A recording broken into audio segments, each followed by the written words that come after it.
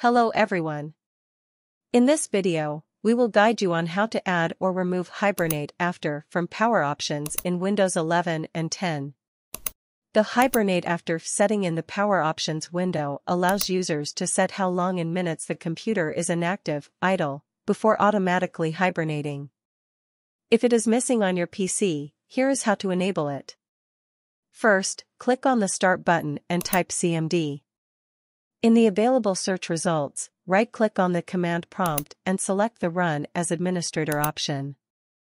Now, copy and paste the following on the prompt and hit Enter on the keyboard reg add hklm backslash system backslash current control set backslash control backslash power backslash power settings backslash 238C9F808D401ED83F497B242C8F20 backslash 978158678888515A05F02364 slash V attributes slash T reg underscore D word slash D2 slash F Please note you can copy commands from this video description.